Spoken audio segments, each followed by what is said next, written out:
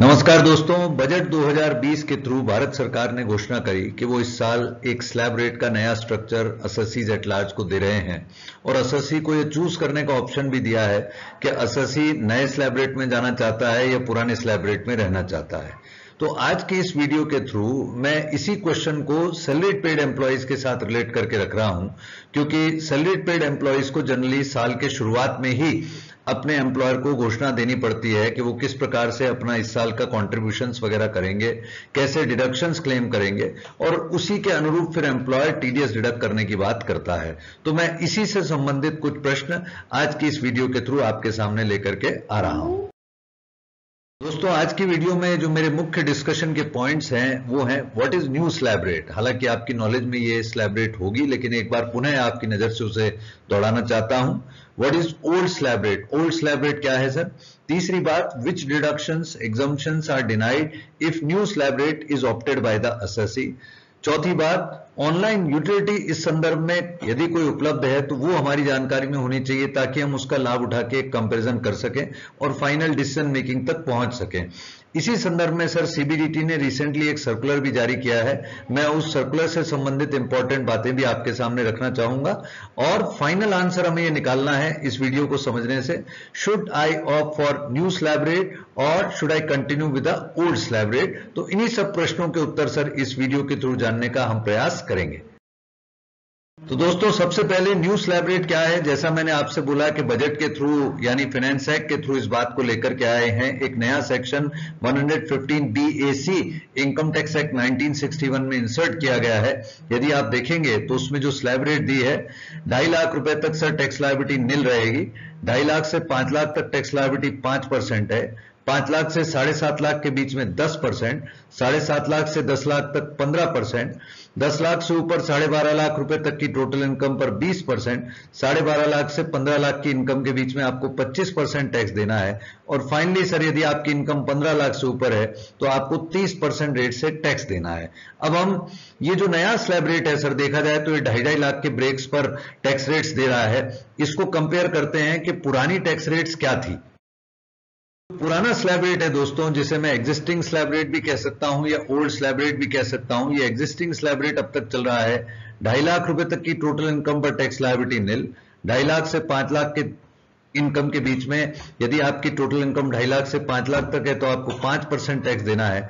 पाँच लाख से दस लाख रुपए तक की टोटल इनकम यदि आपकी है तो आपको पाँच लाख से ऊपर की टोटल इनकम पर बीस परसेंट टैक्स देना है और दस लाख से ऊपर आपको तीस परसेंट टैक्स देना है। तो ये सर हमारी एग्जिस्टिंग स्लैब रेट है। मैं पुनः दोहराऊँगा सर। दोनों स्लैब रेट कंटिन्यू है, पुरानी भी, नई भी। ऑप्शन अससी पर छोड़ा गया है कि अससी को कौन सा स्लैब रेट लेना उपयुक्त लगता दोस्तों ओल्ड स्लैब रेट और न्यू स्लैब रेट को मद्देनजर रखते हुए मैंने आपके सामने कंपेरेटिव टैक्स पोजीशन रखी है और ये टैक्स पोजीशन आपको दिखाएगी कि किस प्रकार से इस कंपेरेटिव टैक्स पोजीशन में नई स्लैब रेट में निकाली गई टैक्स लाइबिलिटी ज़्यादा बेनिफिशियल है। किस प्रकार से, सर? आप देखिए फॉर एन एग्ज़ाम्पल यदि मैं ये मानता हूँ कि एक एसएससी की टोटल इनकम 15 लाख रुपए तक है, ये इस पर्टिकुलर चार्ट में एजम्पन है। तो उसको नई स्लैब रेट में डिफरेंट डिफरेंट स्लैब रेट पे ज़ीरो, पाँच, दस, पंद्रह, बीस और 25 परसेंट के हिसाब से जब टैक्स लाइबिलिटी लगेगी तो 15 लाख रुपए तक की टोटल इनकम पर एसएससी को एक लाख सत्यासी हज़ार पाँच सौ का टैक्स देना है। इसी प्रकार से दोस्तों, यदि पुरानी स्लैब रेट एसएससी ऑप्ट करता है तो उसे 15 लाख की टोटल इनकम पर दो लाख बासठ हज़ार पाँच सौ का टैक्स देना है। यानी नेट सेविंग एसएससी को पिचहत्तर हज़ार होगी और उसका एवरेज टैक्स रेट साढ़े बारह परसेंट पड़ेगा नए स्लैब रेट में एज कंपेयर टू साढ़े सत्रह परसेंट। यानी मोटा मोटी सीधे सीधे पंद्रह लाख रुपए की टोटल इनकम पर दोस्तों, पाँच परसेंट के हिसाब से पिचहत्तर हज़ार रुपए का टैक्स बचेगा। इससे प्राइमा फेसा ये लगता है कि न्यू स्लैब का जो सिस्टम है, वो बेनिफिशियल है। लेकिन ये एक प्राइमा फेसा ओपिनियन है दोस्तों।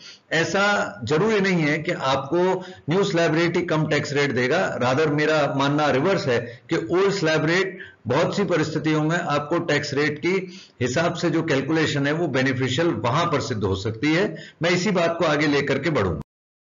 अपनी बात को आगे बढ़ाने से पहले आपके सामने सर ये बात रखना चाहता हूँ कि कुछ एग्जामेशन और डिडक्शन जो कि स्पेसिफिकली अब नई रिजीम में यदि आप नया स्लैब रेट ऑप्ट करते हैं तो आपको 115 बीएसी में नहीं मिलेगी। यानी आपको ये समझना है कि आप नए स्लैब रेट में जाएँगे तो ये डिडक्शन आपको छोड़ने हैं और यदि आप पुराने रिजीम में रहेंगे तो आपको ये वाले पर्टिकुलर टैक्स रेट्स को ऑप्ट ये वाले पर्टिकुलर डिडक्शन मिलते रहेंगे। तो ये एक मेन कंपेरिजन है सर, जिसकी वजह से आपका डिसीज़न मेकिंग इंपॉर्टेंट होगा कि आप नए स्लैब रेट में जाते हैं या ओल्ड स्लैब रेट में? क्या क्या एग्जामेशन डिडक्शन जो डिसलाउ हो रहे हैं सर नए स्लैब रेट में? Section 10 clause 5 leave travel allowance नहीं दिया जाएगा। एचआरए नहीं दिया जाएगा नए स्लैब रेट में। बहुत सारे एग्ज़ाम अलाउंसेस जो कि नोटिफाइड है टेन क्लॉस फोर्टीन में, जैसे child education allowance uniform allowance helper allowance ये भी नहीं मिलेंगे अगर आप नई स्लैब रेट ऑफ़ करते हैं। Ten clause thirty two minor की जो इनकम डेढ़ हज़ार रुपए तक की क्लबिंग में आती है, उसके लिए आपको एग्जामेशन मिलती है। वो भी नई स्लैब रेट ऑफ़ करने पर नहीं मिलेगी। स्टैंडर्ड डिडक्शन नहीं मिलेगा। Interest for self occupied property दो लाख रुपए का तक का जो हम डिडक्शन क्लेम करते हैं, वो भी सर नई स्लैब ऑफ़ करने पर आपको नहीं मिलेगा। साथ ही साथ दोस्तों चैप्टर सिक्स ए के कुछ डिडक्शंस हैं। वो भी स्पेसिफिकली मना कर दिए गए हैं। राधर कुछ की जगह मैं ये कह सकता हूँ। दो डिडक्शंस को छोड़ के बाकी सारे डिडक्शन चैप्टर सिक्स ए के इन्होंने मना कर दिए। जैसे eighty C eighty triple C जिसमें आप बोले तो L I C contribution PF contribution PPF contribution ELSS tuition fees home loan principal payment pension fund contribution etcetera इसी प्रकार से एटी सीसीडी वन में जो आपका एनपीएस का कॉन्ट्रीब्यूशन है या एटी सीसीडी वन बी में, जो एनपीएस का फिफ्टी थाउज़ेंड का एक्स्ट्रा कंट्रीब्यूशन का डिडक्शन हम लेते हैं, वो भी नहीं मिलेगा। Health insurance premium health checkup के खर्चे या मेडिकल खर्चों का जो डिडक्शन हम लेते हैं टीडी में, वो हमें नहीं मिलेगा। एटी डबल डी में मेडिकल ट्रीटमेंट एक्सपेंसेस नहीं मिलेंगे। एजुकेशन लोन का इंटरेस्ट भी आपको यदि क्लेमेबल है, वो भी नहीं मिलेगा नए स्लैब रेट में eighty G eighty double G A eighty double G B जैसे डिडक्शन नहीं मिलेंगे। एटी डबल टी ए में सेविंग बैंक अकाउंट का दस हज़ार रुपए तक का इंटरेस्ट नहीं मिलेगा। और ईटीयू सर जो डिडक्शन फॉर फ़िज़िकल डिसेबिलिटी देता है, उसका डिडक्शन विशेष परिस्थिति में, ये भी डिडक्शन आपको नए स्लैब रेट ऑफ़ करने पर नहीं मिलेंगे। अब यहाँ दोस्तों, एक कंपेरेटिव टैक्स कंप्यूटेशन मैंने प्रिपेयर करी है, जिससे आप इन दोनों स्लैब रेट के सिस्टम्स के अंतर को समझ पाएँगे कि मान लीजिए एसएससी की टोटल इनकम है पंद्रह लाख रुपए नई स्लैब रेट में भी पंद्रह लाख ओल्ड स्लैब रेट में भी पंद्रह लाख। और मैं ये मान लेता हूँ कि एसएससी नई स्लैब रेट की जगह अगर पुरानी स्लैब रेट ऑफ़ करता तो पचास हज़ार रुपए का स्टैंडर्ड डिडक्शन लेता। सेल्फ ऑक्यूपाइड हाउस प्रॉपर्टी का दो लाख रुपए का इंटरेस्ट एसएससी क्लेम करता। डेढ़ लाख रुपए एसएससी एटीसी में क्लेम करता। Eighty CCD subsection one B में एनपीएस कंट्रीब्यूशन के भी एसएससी पचास हज़ार क्लेम करने का कंट्रीब्यूशन करना चाह रहा है। और मेडिकल इंश्योरेंस का भी पचास हज़ार रुपए का डिडक्शन एसएससी क्लेम करेगा। तो एक और, सर, नई स्लैब रेट में हमें कोई deduction standard deduction self occupied house property का interest investment under section eighty C investment under eighty C C D one B medical insurance कोई नहीं मिलना, कोई डिडक्शन नहीं मिलना। लेकिन दूसरी ओर ओल्ड स्लैब रेट में हमें ये सारे डिडक्शन मिलेंगे तो वहाँ मेरी टोटल इनकम नेट में दस लाख रुपए ही बचेगी। अब आप देखिए, sir tax on total income old regime में एक सत्यासी पाँच सौ है, जबकि न्यू रिजीम में एक बारह पाँच सौ है। तो एसएससी को ओल्ड रिजीम ऑफ़ करने पे पिछहत्तर हज़ार रुपए का टैक्स रेट का डिफरेंस आ रहा है। टैक्स में नेट नेट डिफरेंस आ रहा है। तो क्यों ना एस सर यहाँ पर ओल्ड स्लैब रेट ही कंटिन्यू करे? तो इस प्रकार के उदाहरण से सर ये आपको लगेगा कि मैं फाइनली मेरी टोटल इनकम के स्टेज पर कैसे डिसाइड करूँ? कि क्या मुझे ओल्ड स्लैब रेट लेनी है या न्यू स्लैब रेट तो मोटा मोटी एक बात तो निश्चित रूप से आप मानेंगे कि ओल्ड स्लैब रेट उन लोगों के लिए बेनिफिशियल है जो डिडक्शंस कॉन्ट्रीब्यूशंस या किसी प्रकार के रीपेमेंट्स के बेनिफिट्स में चलते हैं। और जो लोग किसी प्रकार के डिडक्शंस कॉन्ट्रीब्यूशन नहीं करते, से यंग जनरेशन है इन्वेस्टमेंट वगैरह कम कर रहे हैं तो ऐसी परिस्थिति में उनके लिए न्यू स्लैब रेट बेनिफिशियल लगता है। लेकिन केवल ये उदाहरण आपको फाइनल आंसर तक पहुँचने में मदद नहीं करेगा। मैं आपको फाइनल आंसर देने की इससे आगे कोशिश करता हूँ। बहुत ध्यान से देखिएगा दोस्तों, भारत सरकार ने हमारी मदद के लिए ऑलरेडी इस पर्टिकुलर लिंक पर, यानी income tax India e filing dot gov dot in पर एक टैक्स कैलकुलेटर ऑलरेडी दे दिया है। जैसे ही आप इस पर्टिकुलर लॉगिन पर जाएँगे, यानी इस वेबसाइट को क्लिक करेंगे तो आपको सर यहाँ पर अपनी एज डालनी है कि क्या आप सीनियर सिटीजन हैं सुपर सीनियर सिटीजन हैं या नॉर्मल एसएससी हैं। यहाँ आपको अपनी एस्टिमेटेड एनुअल इनकम डालनी है और आपको ये पता होना चाहिए कि मैं कौन कौन से डिडक्शंस के लिए ओल्ड स्लैब के अंदर एलिजिबल हूँ। यदि आप ये चीज़ें यहाँ पर डाल देंगे और फाइनली आप यहाँ क्लिक करेंगे compare tax under existing and new regime तो आपको एक फाइनल आउटकम ला करके मैं इस बात को यहाँ रखता हूँ, सर, आप देखिएगा कि मान लीजिए मैंने चूज़ किया कि मेरी एज बिलो 60 ईयर है, यानी मैं नॉर्मल सिटीजन हूँ, मेरी एस्टिमेटेड एनुअल इनकम सात लाख पैंतालीस हज़ार है, और मैं एक लाख पचास हज़ार रुपए के एग्जामेशन या डिडक्शन क्लेम करूँगा से फॉर एग्ज़ाम्पल एटीसी या सेक्शन 24 क्लॉज भी सेल्फ ऑक्युपाइड प्रॉपर्टी का इंटरेस्ट तो अब ये सिस्टम मेरे को ऑटोमेटिक कैलकुलेट करके बता रहा है कि भटिया जी ओल्ड रिजीम में तो आपको बत्तीस सात सौ साठ देना है टैक्स और न्यू रिजीम में आपको अड़तीस चार सौ अस्सी देना है। यानी अगर आप ओल्ड रिजीम ऑफ़ करते हैं तो आपको पाँच हज़ार सात सौ बीस का टैक्स में बचत होगी। अब मैं अपने एम्प्लॉयर को इन्फॉर्म कर सकता हूँ कि ठीक है साहब, आप मेरे को ओल्ड रिजीम में ही रहने दीजिए, मुझे नए रिजीम में जाने की कोई इच्छा नहीं है। तो ये जो यूटिलिटी है सर, ये बड़ी हेल्पफुल है, आप इसका सहारा लें।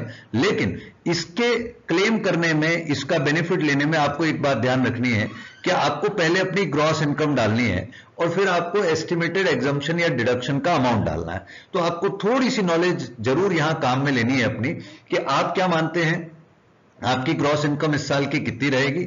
और आप एग्जामेशन डिडक्शन कितने अमाउंट के अदरवाइज़ क्लेम करने जा रहे हैं? तो यदि आप ये दो फिगर सही फिलअप करेंगे तो यूटिलिटी बहुत हद तक आपको सही आंसर देने में सहायक होगी। दोस्तों सीबीडीटी ने रिसेंटली एक सर्कुलर इशू किया है regarding TDS to be deducted by employer with respect to new slab rate उसकी हाइलाइट्स मैं एक एक करके आपके सामने रखता हूँ।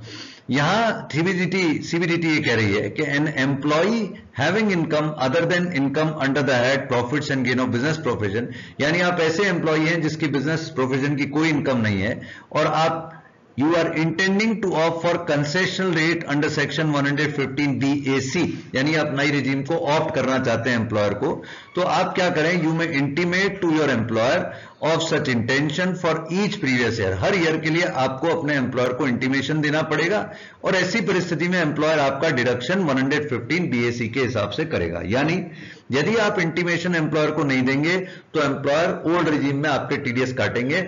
यदि आप आगे बढ़कर कहते हैं इंटीमेशन देते हैं sir please deduct my TDS as per the old slab rate तभी एम्प्लॉयर ओल्ड स्लैब रेट से आपका टीडीएस डिडक्ट करेंगे। दूसरी बात if such intimation is not made by the employ employer shall make TDS without considering the provision of 115 B A C जैसा मैंने पहले कहा सर कि एम्प्लॉयर पुराने स्लैब से ही आपका टीडीएस काटता रहेगा The intimation so made to the deductor shall be only for the purpose of TDS during the previous year and cannot be modified during that year. दो बातें निकल करके आती हैं सर यदि आप ऐसी कोई इंटीमेशन अपने एम्प्लॉयर को देते हैं तो ये इंटीमेशन टीडीएस के पर्पजेस से होगी।